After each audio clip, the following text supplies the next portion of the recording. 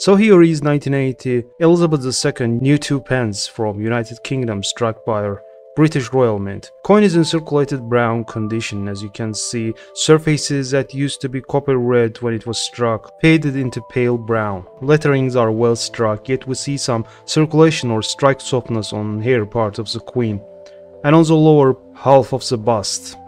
One large neat cat's eye on northeastern rims, accompanied with other tiny flame flows around the collar. But the main distraction is this dark coconut brown patina near the chin of the late queen. If you haven't subscribed to our channel yet, make sure to hit subscribe and bell buttons below. British Royal Mint struck over 408 million bronze two new pence pieces in 1980 to avoid confusion between the old and new coinage. These coins initially had the word new incorporated into the reverse design.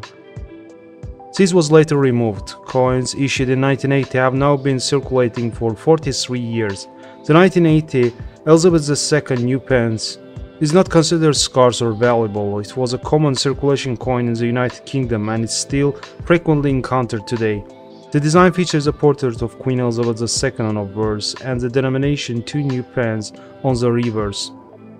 While there may be some collectors interested in obtaining this coin for their collection, its value is generally low and is not considered rare.